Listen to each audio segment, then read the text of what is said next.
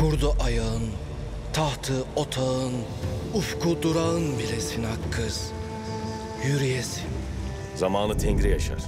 Kişi oğlu ölmek için türemiştir. Ölürse Kaya'nın Kaan olmasına babam izin vermez. Bilirsin değil mi?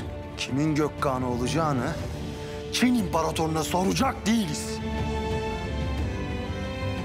Elbet Kaya çok iyi bir Kaan olacaktır. Köyü er meydanında başa yediremeyiz ama hatun eteğinde diz çöktürebiliriz. Gökkanlığını biz yönetiriz.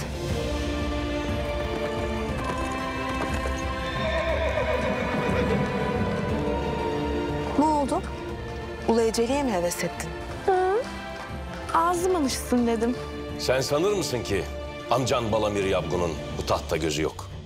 Batugan'ın aklı olsaydı ondan iyi bir Kaan olurdu. Aklı yok. Aklı olsa eli yok. Eli olsa ayağı yok. Benden Kaan olur ondan Kaan olmaz. Yayını ger, okunu at ak kız. Okun düştüğü yer yazgın olsun.